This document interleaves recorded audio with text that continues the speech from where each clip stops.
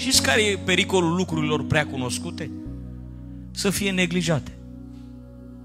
Eram la facultate la Institutul de Teologie Biblică. Și ce ne aminteau profesorii în fiecare zi la ore?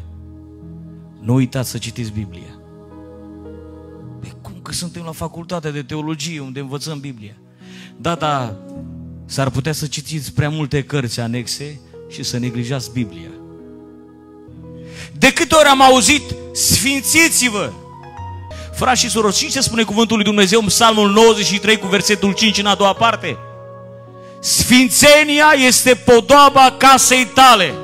Frumusețea casei lui Dumnezeu este sfințenia. Frate și soră, Dumnezeu pe mine și pe tine ne îndeamnă la sfințenie. Ceea ce caracterizează viața noastră pe acest pământ, în diferență cu oamenii din lume, este sfințenia, binecuvântat să fie numele lui Dumnezeu.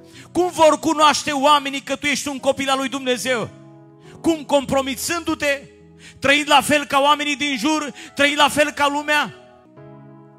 Să se vadă diferența între tine și cei din jurul tău, că tu și eu suntem copii al lui Dumnezeu. N-am cum să mai trăiesc ca lumea, n-am cum să mă mai comport ca lumea. De ce? Pentru că eu am fost răscumpărat cu sânge sfânt, binecuvântat să fie numele lui Dumnezeu. Frate și soră, lupta mea și a ta nu e împotriva fraților, nu e împotriva conducătorului, lupta ta e împotriva păcatului, trăiește sfințenia, căci Dumnezeu te-a chemat la o luptă sfântă.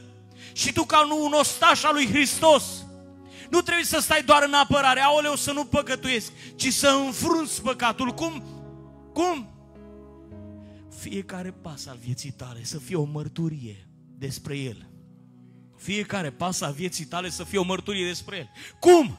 În tot ceea ce fac să-L arăt pe Hristos. În tot ceea ce fac să-L arăt pe Hristos.